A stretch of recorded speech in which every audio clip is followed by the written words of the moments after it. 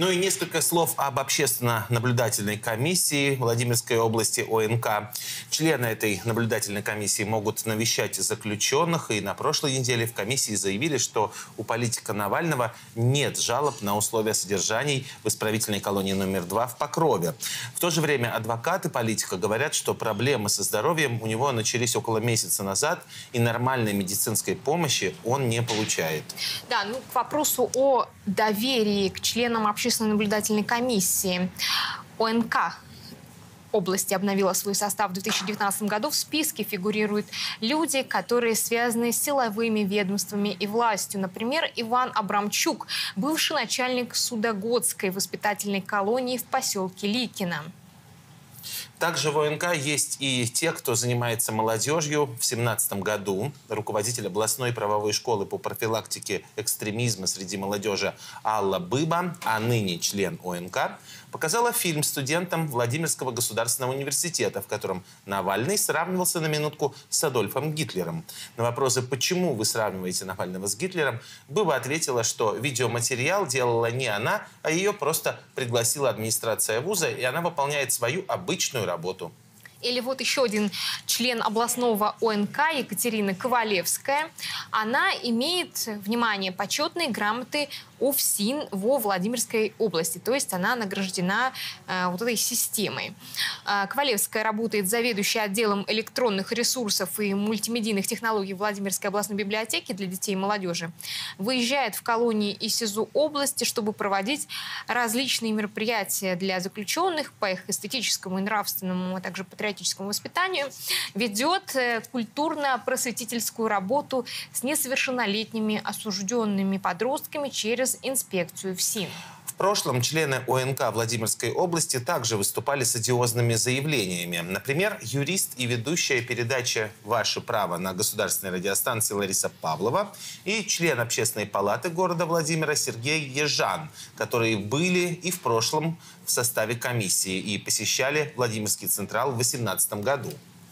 Тогда заключенный Давид Диванишвили, внимание, лишился части языка при странных обстоятельствах.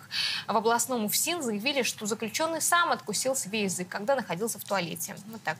Эту же версию подтвердил и сам бывший член ОНК Ежан, который обращ... общался с пострадавшим. Правозащитники и родственники уверены, что это результат пыток, и сам заключенный не смог э, нанести себе вот подобное увечье, который, к тому же, э, видимо, во время этих пыток лишился передних зубов. Ну и с нами сейчас на связи Константин Котов, э, политический активист. Он отбывал наказание полтора года общего режима как раз в этой исправительной колонии номер два города Покров Владимирской области. Константин, здравствуйте, слышно ли дождь? Да, здравствуйте, слышно. Здравствуйте. А, ну, вот... вот у меня вопрос прежде всего. Что можно сказать о медицинской помощи в колонии? То есть сколько там врачей, какие это специалисты, а, сколько нужно ждать врача и какие лекарства они могут выдать, там, кроме аспирина, анальгина и вот, как мы сейчас узнали, ибупрофена? Афина. Э, на самом деле ситуация с медициной в Покровской колонии очень плохая. Э, там два врача, это врачи-фельдшеры, то есть специалисты низкой квалификации. Э, они сотрудники ФСИНа и в том числе имеют медицинское образование. Да, к ним можно записаться на прием, тебя отведут. Э, но а что они могут сделать? Они могут измерить твою температуру, дать тебе, как вы правильно сказали, какие-то простейшие таблетки из тех запасов, которые у них есть. Ну и все. Больше никакой адекватной медицинской помощи, к сожалению, там не получишь. То есть это просто два фельдшера, да? Да, именно так. Угу. А что нужно сделать, Алексей, чтобы его увезли э, в гражданскую больницу, как э, мы говорим, да? То есть чтобы он перестал пользоваться услугами тюремной медицины? Ну, во-первых, э, действительно, Алексей обладает правом э, того, чтобы его посетил гражданский врач. Э, например, в моем случае, когда я там находился, мои адвокаты добились того, что меня посетил гражданский специалист, врач-дерматолог. Я во время заключения подхватил кожное заболевание достаточно серьезное.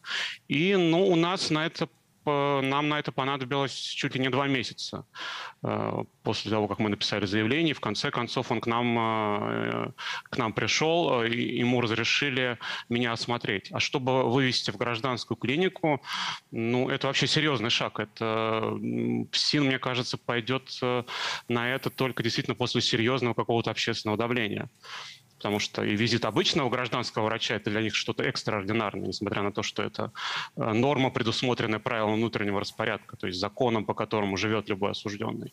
Тем не менее, кроме меня, э, никто из других осужденных гражданского врача никогда не видел. И к ним то гражданский врач в том числе общественного давления, правильно я понимаю? Да, именно то, да. То, что мои адвокаты говорили тоже об этой ситуации, я думаю, это помогло. А где Навальному и вообще заключенным, отбывающим наказание вот в этой исправительной колонии номер два, делают, ну, например, КТ? Вот делали обследование КТ. Е результаты, как я понимаю, Навальный не получил на руки. Можно ли этому доверять, этим результатам? Нельзя ли им доверять? Как обстоит вот с такими обследованиями КТ, МРТ?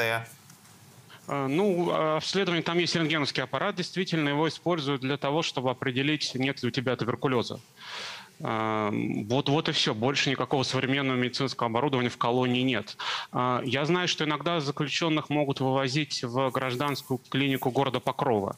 А, сотрудники вызывают скорую помощь, и на скорой помощи тебя туда отвозят, если действительно с тобой э, произошло что-то серьезное. Ну вот Навального как раз именно... тогда туда и э, вывозили да. несколько дней назад, где, собственно, эти результаты, видимо, компьютерной томографии Я и думаю, да. сделали. То есть в, в колонии, естественно, МРТ тебе не сделал. У них такого оборудования просто нет нет. Ну, то есть, если заключенному нужно э, МРТ или КТ, вывозится вот в эту городскую больницу Покрова, да?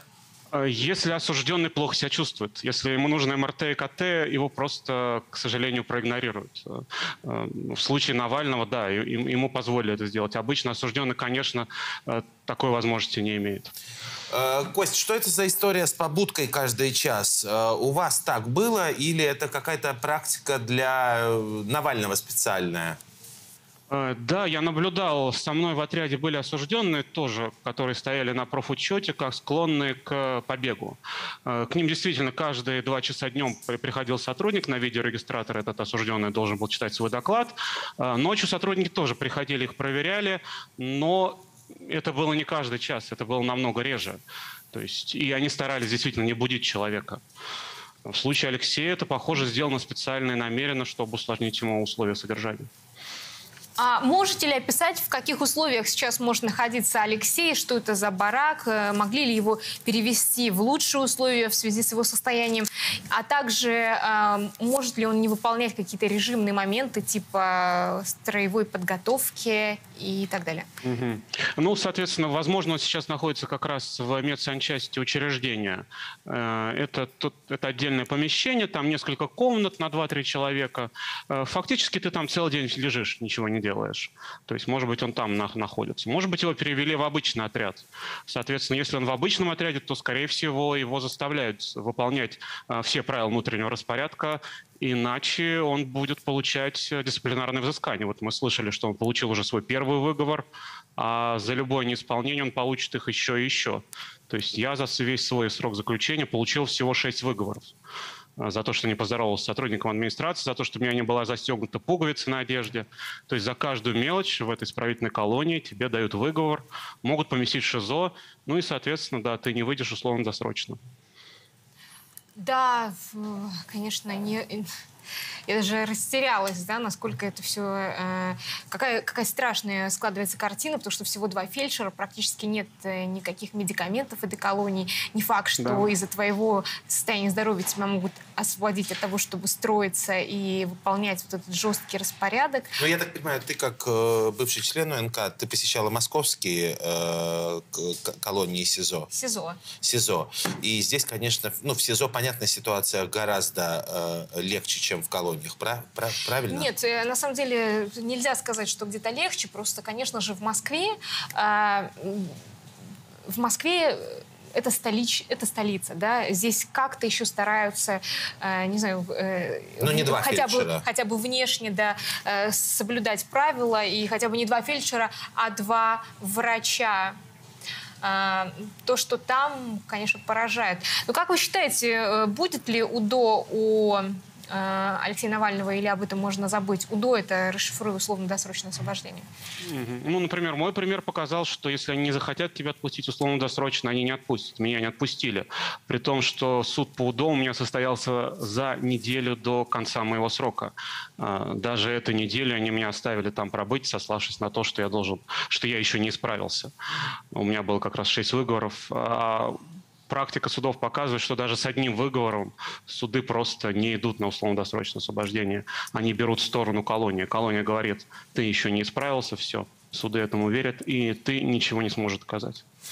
Спасибо. Константин Котов, э, гражданский активист, э, который сидел как раз в исправительной колонии номер два в Покрове Владимирской области, где сейчас отбывает свой срок Алексей Навальный.